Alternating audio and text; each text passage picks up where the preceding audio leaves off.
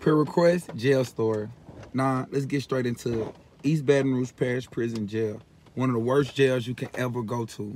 Right when you going into the jail, as soon as you walk in, you go see like 50 to 100 men just, just in two big cages with benches, no beds. They have one phone apiece. So when you first get in, getting your intake call, it's like damn near impossible to get.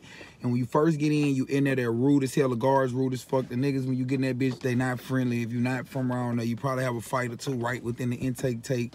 Right, as soon as you, as soon as you get, in, as soon as you get into there, less than five minutes.